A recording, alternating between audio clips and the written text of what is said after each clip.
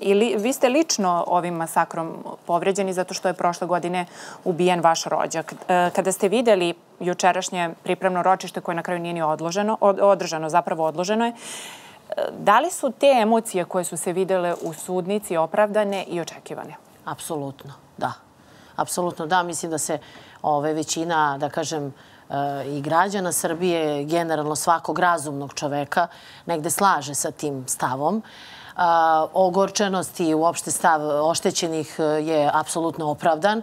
S jedne strane, s druge strane, mora da se poštuje zapravo nekih zakonski protokol i neka, neka ostala, da kažem, zakonska ograničenja, pa u tom smislu, eto, ovaj, e, e, je zapravo ovako izgledalo eh, kao da je eh, okrivljen i zaštićen u stvari, a ne oni koji su zapravo zaista oštećeni. Mislim da su tu reči suvišne i da tu šta god bi rekli eh, u iz bilo kog ugla, da li iz moralnog, ljudskog, psihološkog, pravnog i tako dalje, suđenje ne treba da postoji za ovakve situacije i za ovakve masakre. Dakle, sa pravne strane ćete vi verovatno to bolje ovaj, komentarisati, ali ono što je psihološki, ono što je moralno, trauma, pravi efekti traume još nisu se ni manifestovali da zapravo imamo tek godišnjicu od smrti i od stravičnog zločina. A koji bi bili pravi efekti? Pa pravi, dugo, da kažem, daleko sežni su i dugotrajni i uopšte oporavak od traume je jedan dugotrajan proces i zaista ishod od oporavka kada su ovakve stvari je vrlo neizvestan. I mi ostali ljudi koji smo negde, da kažem, na granici, koji se saosećamo sa oštećenima, smo također u šoku i taj šok i dalje ovaj, traje.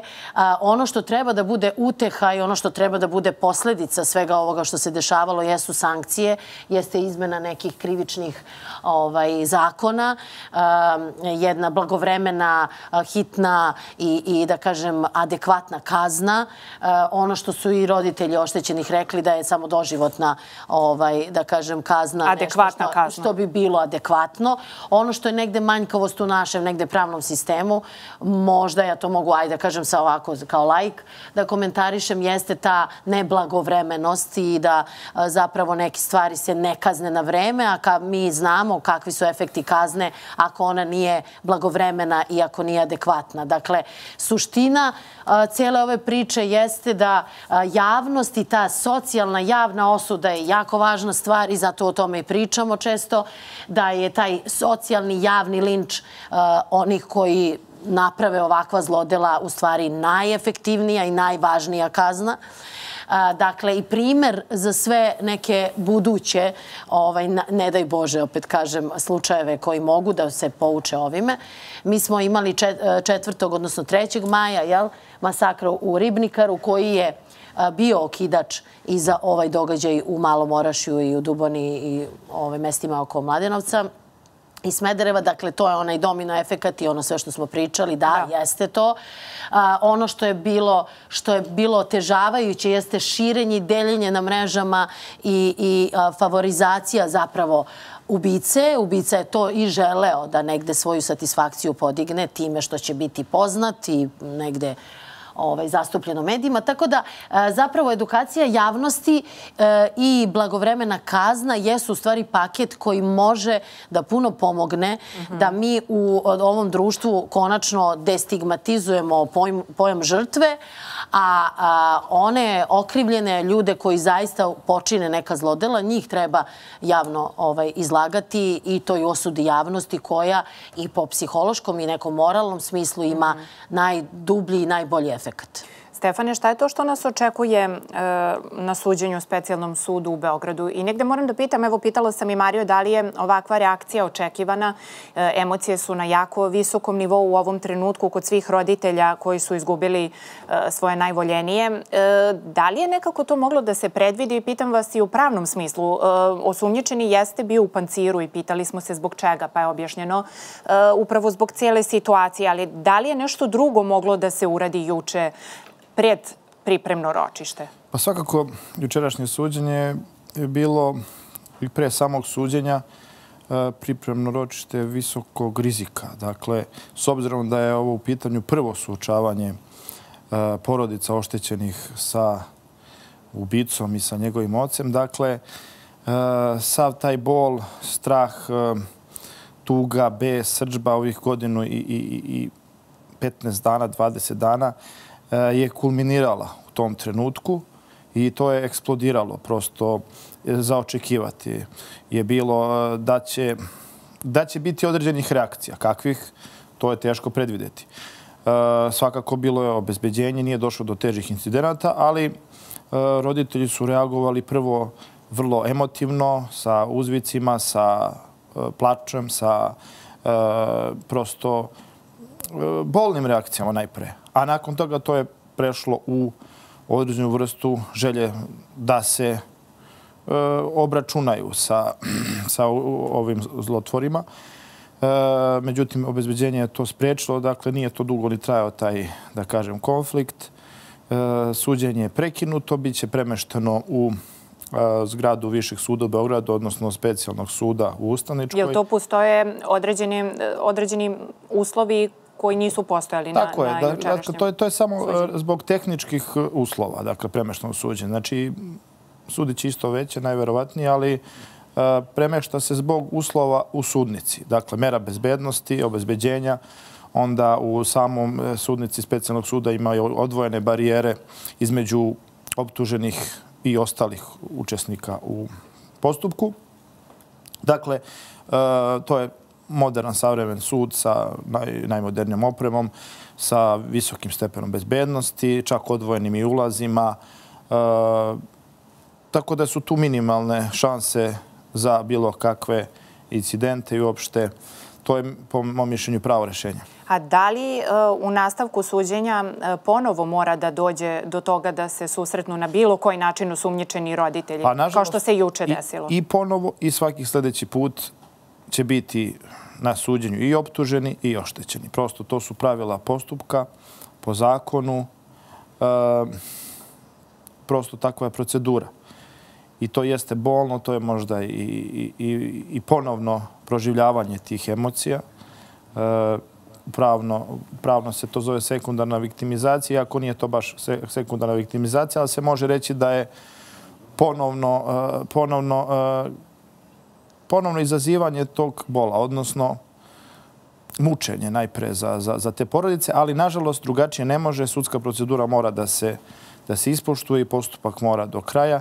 Ja se nadam da neće dugo trajati. To je e, iz, iz ovog mesta apelujem e, na sudije i na predsjednicu veća koja, vod, e, koja rukovodi znači, ovim postupkom da se što brže i efikasnije sprovode zakazivanja ročišta i da bude što efikasnije i, i, i što pre da se donese presuda. To je ono što najviše može da se uradi što se tiče samog postupka i nas kao učesnika. E, Marija, e, gospodin Stefanović je rekao da će roditelji morati da se sreću sa osumnječenim i u nastavku, nažalost, takva je procedura. Ali e, kakve se emocije u nastavku očekuju? Da li je onaj najveći eksplozivni naboj bio juče ili nešto slično možemo da očekujemo i u nastavku suđenja?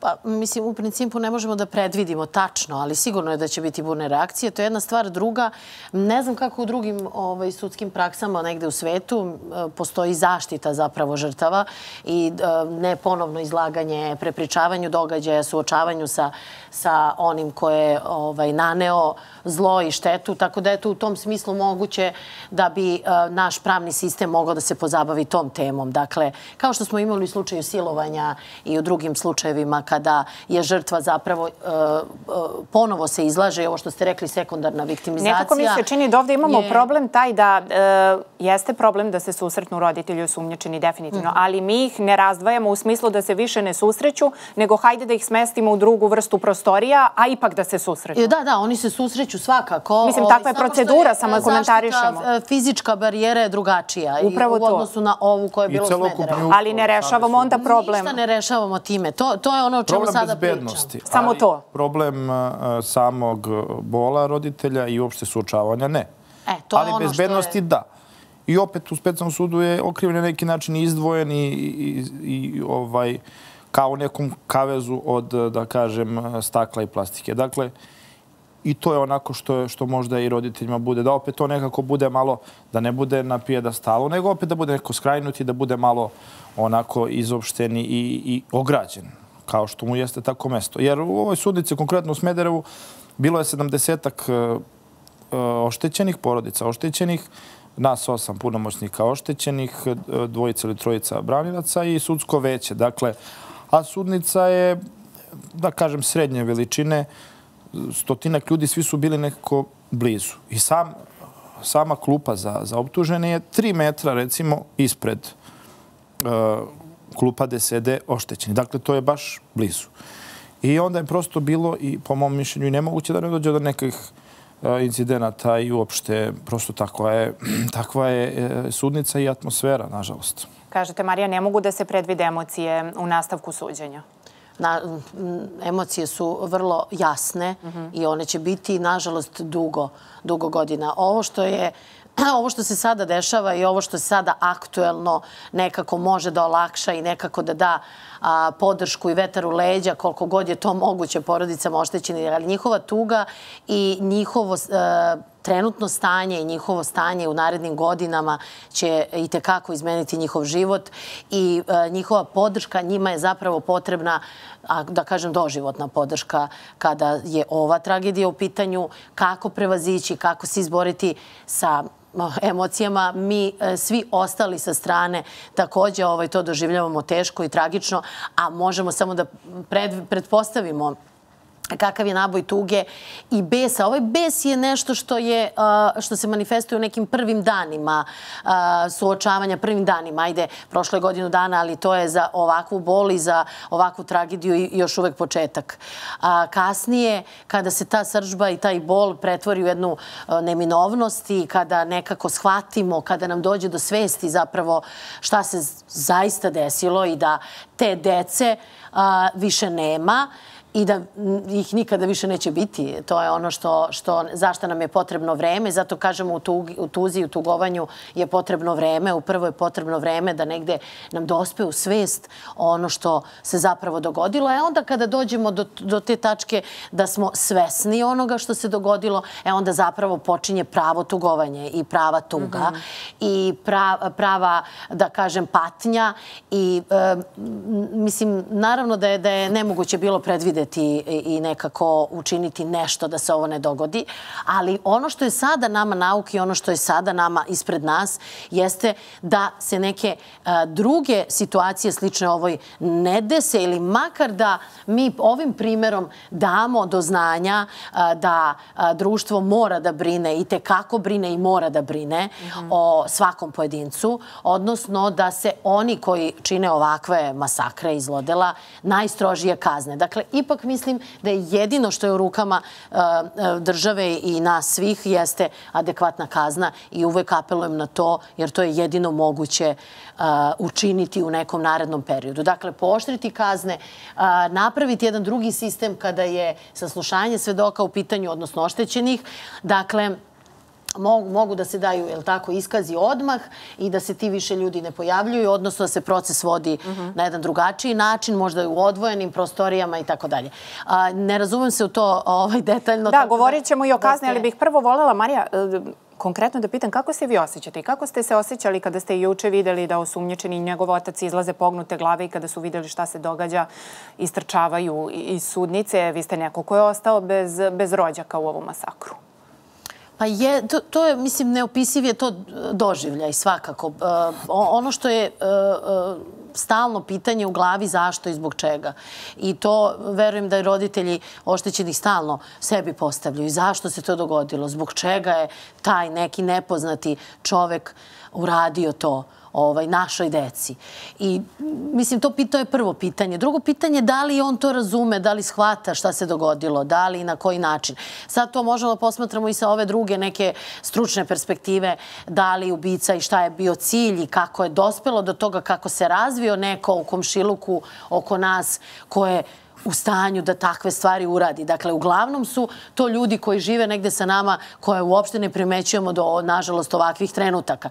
Dakle, naravno da je jedna emocija ljutnje i, i, i negde želje da se napravi neka ravnoteža, pravda, zadovolji i tako dalje. Mislim da je to primaran osjećaj u ovom trenutku. Ali onda kada shvatite ovo drugo što smo malo prepričali, da će posle izvestnog vremena zaista negde dopreti do svesti da je ovo što se desilo ipak stvarnost i da ne može ništa da vrati, kao što stalno pričamo, jel, onog koga nema, postavlja se pitanje šta je onda adekvatno što može da nadomesti, jel?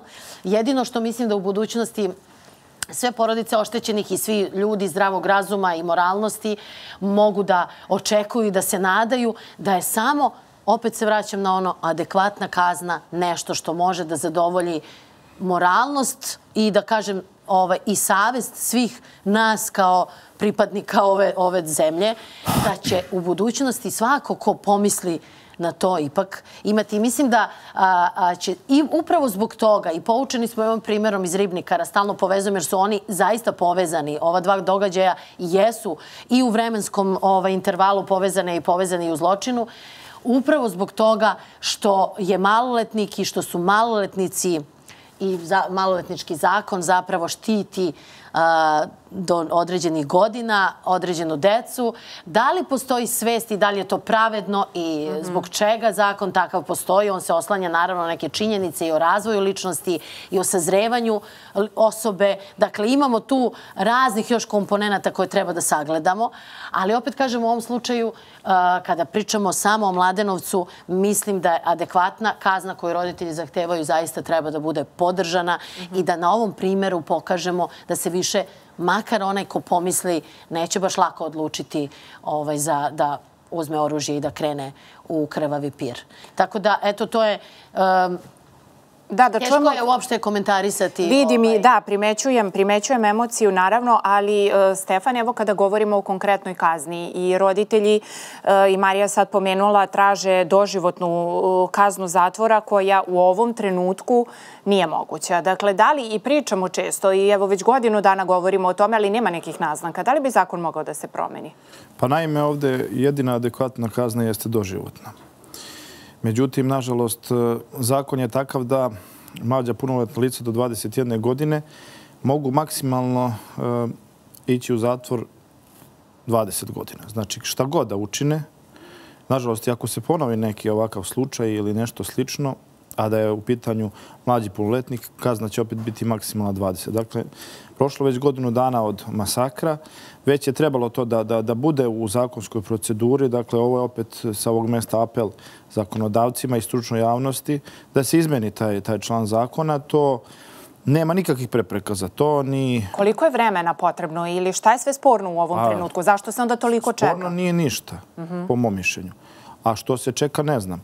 Jer kod nas politika najviše igra ulogu i kad je, kad je pravo u pitanju i kad, je, kad su naši životi u pitanju. Dakle, verovatno se čeka nekad da li je to povoljna politička odluka ili nije, ali svakako zakonodavac mora to uraditi. U najskorije vreme jer ćemo imati problem. Dakle, kada je pisan taj zakon i ta odredba, drugačije su bile psihofizičke sposobnosti mladih ljudi, uopšte e, zrelost i tako dalje. Dakle, na naši mladi ljudi u tom dobu su mnogo i izreli i sposobni i da kažem, to su ljudi, nisu više ni mladići. E, što se tiče same te kazne koja je vrlo predviđena e, blaga, to je isto jedan razloga zašto su roditelji ovako burno reagovali. Jer su svesni da će on, nažalost, dobiti samo 20 godina. To je znači jedna od stvari koja je i doprinela e, ovom opravdanom besu. Dakle, zaista opravdan. Druga stvar je to što je ovaj masakr bio izuzetno surov. Dakle, naša istorija ovako nešto ne pamti. Čak i za vreme ratova i u Bosni i u Hrvatskoj nije bilo ovakvih slučajeva koliko ja znam da ovoliko mladih ljudi bude na, na ovakav način streljano. Znači, oni su bukvalno streljani. Preko 100 met, metaka je ispaljeno. Uh, neki su, nažalost, e, preminuli i, i, i pogođeni i, i sa 10 metaka i više. Dakle, čak ih je i na kraju je prilazio, znači, ubica da provjeri da li su živi i opet je pucao. Dakle, to je nešto toliko monstruozno i prosto ta saznanja e, roditelji nisu mogli da, da, da, da, da ovaj, amortizuju i da, jer to je nešto što, što stvarno se ne pamti.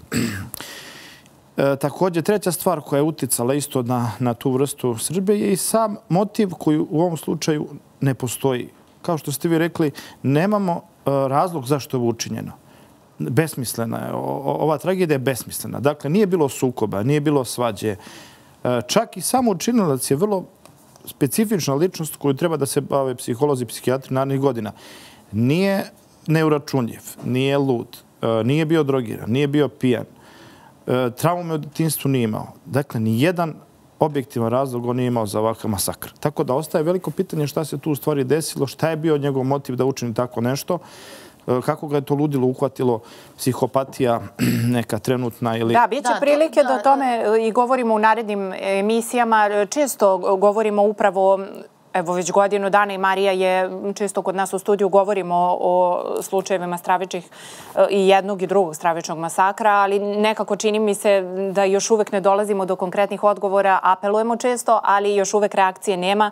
Svakako je naše da radimo na tome i hvala vam što uvek rado izdvojite vreme za našu emisiju. Tako je bilo i danas. Hvala vam mnogo. Jeste, hvala vama. Evo samo da dodam za kraj da ne ostanemo nedorečeni. Dakle, porodični zakon bi morao također da bude ovaj, izmenjen i da se odgovornost roditelja poveća, jer imamo porodicu iz koje potiče ubica i upravo ovo što ste rekli, koji su motivi, kako i na koji način odrastaju dece, također je vrlo važan. Dakle, e, treba izbeći uzrok, a ne posljedicu, odnosno lečiti uzrok e, svega ovoga. Hvala vam.